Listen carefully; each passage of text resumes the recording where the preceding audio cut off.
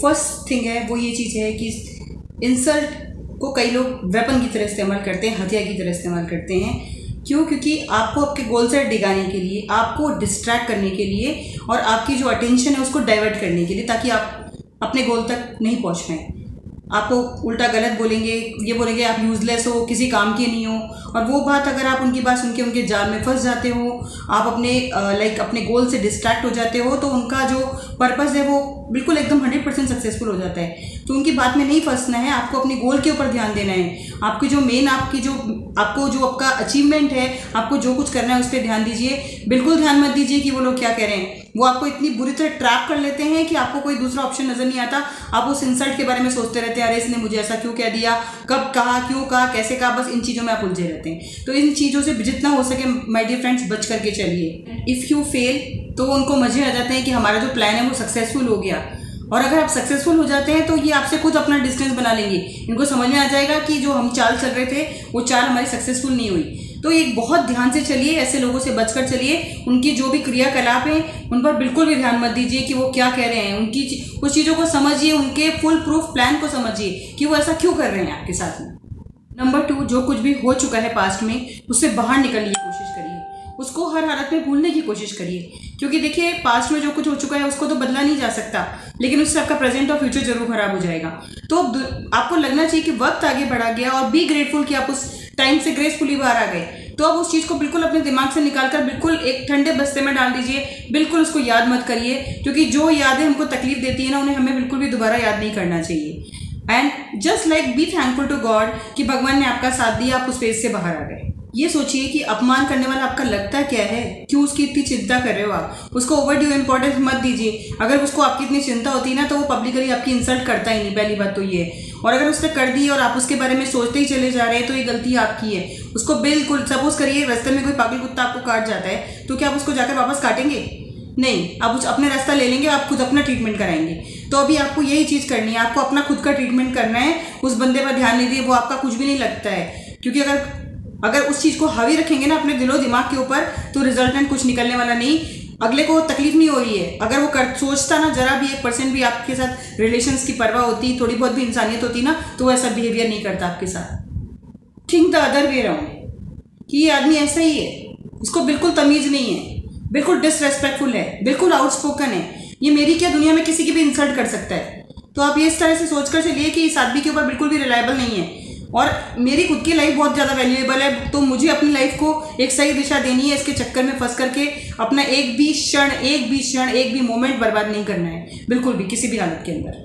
जिस इंसान में एटिकेट्स ही नहीं है, तमीज़ ही नहीं है, उससे क्या उम्मीद रखूँ मैं? यही चीज़ आपको सोच के चलनी है। उसके बाद नेक्स्ट आ जाता है कि एक एम्पैथी रखिए। सबसे पहले सोचिए कि इंसल्ट क्यों की है उसने आपकी?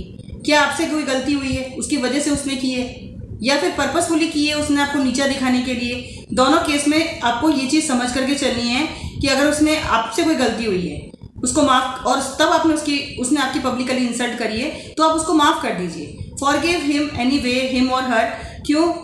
उसको आप माफ़, आपको उसके लिए नहीं करना है। आपको अपने दिल दिमाग की शांति के लिए उसको माफ़ करना है, ताकि आपको मेंटल पीस बनी रहे और आप इस चीज़ को भूल जाएँगे आसानी से। लेकिन अगर उसने पब्लिकली जो आपकी इंसल्ट जानबूझ करके करी है कहीं तब भी आपको सोच ये रखनी है कि ये भी इंसान है परफेक्ट नहीं है। हो सकता है इससे गलती हो गई होगी। और आपकी लाइफ में भी यह सबसे इंपॉर्टेंट इंसिडेंट्स यही नहीं है। बहुत अच्छी अच्छी मेमोरीज भी हैं। तो आपको इन सबको साइड में छोड़ करके अपने आप को बिज़ी कर लेना है। बिज़ी करने से क्या होगा कि आपका ध्यान बार बार डिस्ट्रैक्ट नहीं होगा, बार बार उस एपिसोड की तरफ़ ही मत जाएगा, नहीं जाएगा। आपकी ज़िंदगी बहुत ज़्यादा वैल्यूएबल है तो एक काम की चीज़ों के ऊपर फोकस्ड रहिए। इन सब चीज़ों के ऊपर बिल्कुल एकदम सोचना, बिल्कुल एकदम से बंद कर दीजिए। अगर आपके साथ ये एपिसोड रिसेंटली हुआ है तो भी अपने आप को ओवर बिज़ी कर लीजिए, बहुत ज़्यादा बिज़ी कर लीजिए, ताकि ये चीज़ आपके दिमाग में बिल्कुल भी नहीं आए। क्योंकि इससे भी आगे ज़िंदगी बहुत कुछ है आपके लिए। इस चीज़ को भूल करके आगे बढ़ना ही होगा। और बढ़ने के लिए इसको भूलना होगा। भूलने के लिए आपको मैं जो तरीके बता रही हूँ, उन पर ध्यान दीजिए। शुरुआत में ये इंसिडेंस आपको बहुत तकलीफ़ देगा, बुरा भी लगेगा एज अ बींग ह्यूमन ये समझ सकते हैं इस चीज़ को। लेकिन धीरे धीरे धीरे धीरे इसको आपको बिल्कुल दिमाग से निकालना होगा। बिल्कुल एकदम भूल जाना होगा, तभी लाइफ आपकी आगे बढ़ पाएगी। उसके बाद जो नेक्स्ट आ जाती है चीज़, वो आ जाती है हैंडल द इंसल्ट पीसफुली देखिए, बहुत शांति से, क्योंकि आप स्ट्रांग हैं। एक बार गलती से आपका सर कहीं भिड़ गया, आप किसी से टकरा गए, या कोई रास्ते में किसी पागल कुत्ते ने आपको काट लिया बार बार नहीं होना चाहिए ऐसा। बच करके चलिए, अपनी लाइफ को पीसफुली रखना है। आप एक बार समझ गए कि ये आदमी ऐसा है। बस। बहुत होता है, काफ़ी होता है। उससे एक अच्छा वाला डिस्टेंस रखिए, दोबारा बात मत करिए, समझ लीजिए कि ये ऐसा ही है। ये मेरे साथ ही नहीं है, सारी दुनिया के साथ ही ऐसा है। सबके साथ इसका ट्रीटमेंट एक ही तरह का है, ये इसी तरह से बिहेव करता है। पब्लिकली सबकी इंसल्ट करता है, उल्टा सीधा बोलता है, पूरे टाइम खुद की तारीफ़ करता रहता है, मैं मैं मैं। अगर जो सुनने की कैपेसिटी जिसकी हो, जो कि इंसल्ट प्रूफ हो, वो सुन सकता है इसकी बातें। और अगर आप, जो आदमी जिसके अंदर थोड़ी भी बुद्धिजीवी है, थोड़ी भी बुद्धि है तो वो तो इसकी तरह फालतू की बातें नहीं सुनेगा। नहीं सुनेगा तो वो उसकी इंसल्ट करेगा। तो बस ये चीज़ें मान के चलिए कि आपको पीसफुली इस इंसल्ट को अपने आप अच्छी तरह से इससे बाहर कर आना है ओवरकम करना है इससे, बहुत ग्रेसफुली ओवरकम करना है। Appreciate yourself you are very strong you are emotionally very strong कि आप इस सदमे से, इस जो भी आपके साथ पब्लिकली हुआ, उससे बाहर आ जाएँगे। और वापस उनके जाल में मत फंसीए, उनको रिस्पॉन्स मत दीजिए। जस्ट और क्योंकि अपने गोल में लगे रहिए, बिल्कुल इस तरह के लोगों में बिल्कुल दिमाग लगाना अपना बंद कर दीजिए। नहीं रखना है, बस सीधी सी बातें नहीं रखना है, बस वो चीज़ है। ठीक है? आपको देख करके जैसे ही देखेंगे तो आप सबसे पहले यही सोचना है कि मेरा लगता क्या है? जिसके पीछे मैं, मेरा इतना टाइम वेस्ट कर रहा हूँ या कर रही हूँ? फोकस ऑलवेज जो आपका होना चाहिए वो एक्शन ओरिएंटेड होना चाहिए। Be very much action oriented focus on your karma focus on your action and not reaction कोशिश ये करिए कि वो आदमी आपके सामने ना पड़े। वो सेम आदमी आपकी इंसल्ट दोबारा ना कर पाए। लेकिन अगर कहीं वो आपके सामने कहीं से पड़ गया, तब आपको क्या करना है उस केस में? आपको उसको कोई मौका नहीं देना है दोबारा इंसल्ट करने की, के लिए। याद रख, ये चीज़ चलती रहेगी दिमाग में, ये कितना बुरा आदमी है, इसने मेरी कितनी पब्लिकली इंसल्ट की, कितने गंदे शब्द मुझे बोले। इससे रिश्ते को कमज़ोर कर लीजिए उस आदमी से ज़्यादा रिलेशन मत रखिए और उससे कोई एक्सपेक्टेशन भी मत रखिए, क्योंकि वो ऐसा ही है, ऐसा ही रहेगा, वो सबके साथ ऐसा ही है। जब आपके रास्ते में आ ही गया वो आदमी, उस समय तो सोचना है कि ये कौन है? क्या लगता है मेरा? इसकी मेरी लाइफ में क्या इंपॉर्टेंस है? क्यों उसके बारे में मैं इतना सोचता हूँ? उससे बिल्कुल रिलेशन कट करने के लिए उसको जो इंपॉर्टेंस दे रहे हैं ना, उसको भी कट करना है साथ साथ में। भाड़ में जाएगी इंसान। इसकी मेरी लाइफ में कोई वैल्यू नहीं है। मेरी लाइफ में इसकी कोई रिस्पेक्ट नहीं है। मुझे इससे कोई लेना देना नहीं है। और मैं इसके बारे में बिल्कुल भी नहीं सोचूँगा। क्यों सोचूं मैं इसके बारे में? क्यों उसकी टेंशन मैं लूँ?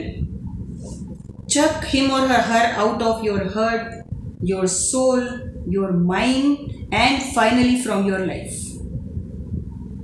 तभी आपकी लाइफ के अंदर आपको बिल्कुल चैन और सुकून मिलेगा। और आपको ये वाली चीज़ सोचनी है कि ये भाड़ में जाए। मुझे इससे कोई भी लेना नहीं है। अगर आपको कहीं से बाहर आता जाता दिख भी रहा है ना तो बिल्कुल इसको इग्नोर कर दो। बिल्कुल ध्यान मत दो, खड़ा है या नहीं खड़ा है। बिल्कुल आपके लिए उसकी कोई भी रेलेवेंस नहीं है। भूत होता है ना, जैसे घोस्ट होता है।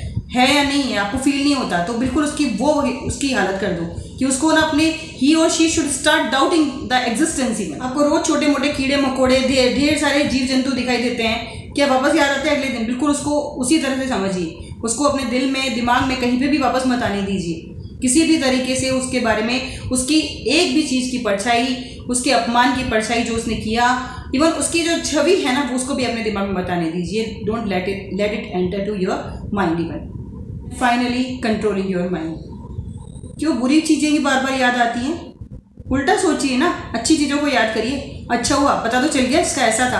पीछे तो छूटा कम से कम इसको समझ तो गया मैं कि ये आदमी ऐसा है, इसी टाइप का है ये आदमी। नेगेटिविटी पेसिमिस्टिक जो चीज़ें हैं, इनके जो तीर हैं, इनको पॉजिटिविटी और ऑप्टिमिज्म के साथ ख़त्म करिए। एक अच्छे, खराब आर्ग्यूमेंट मत करिए, अच्छे आर्ग्यूमेंट करिए क्रिएटिव आर्ग्यूमेंट करिए कि जो कुछ हुआ ना, अच्छे के लिए हुआ।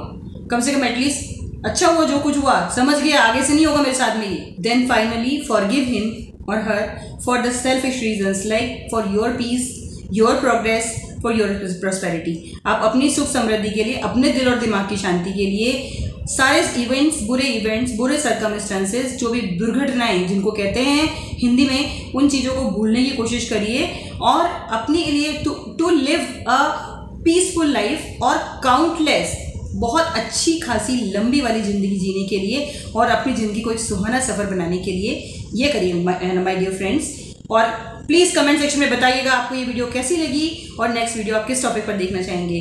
Thanks for watching being a women bye bye